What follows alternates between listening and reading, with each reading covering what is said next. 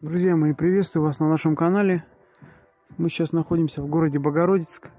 Это торговый центр. Здесь установлена система отопления и теплопанель. Вот, наверху она установлена. Покрашена в черный цвет, поэтому такая незаметная. Ну, если захотите поближе рассмотреть, можете приехать в город Богородицк. Зайти в магазин. Магазин обувной либо в сам торговый центр. Здесь все наглядно на потолке видно. Все работает, все подтверждено, все эффективно, поэтому вопросов не возникает.